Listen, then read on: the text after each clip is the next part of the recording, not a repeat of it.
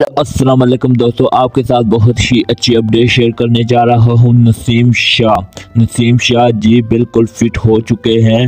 वो न्यूजीलैंड के खिलाफ मैच चौथा खेलेंगे। जो पाकिस्तान वर्सेस न्यूजीलैंड का खेला जाएगा, ट्राई सीरीज़ का चौथा मैच खेला जाएगा और पाकिस्तान का तीसरा मैच खेला जाएगा। पाकिस्तान ने दो मैच खेले हैं, दो ने दो विन कर चुकी है।